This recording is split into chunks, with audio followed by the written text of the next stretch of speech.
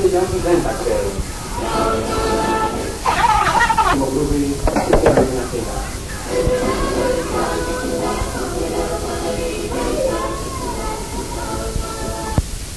Ένα πά.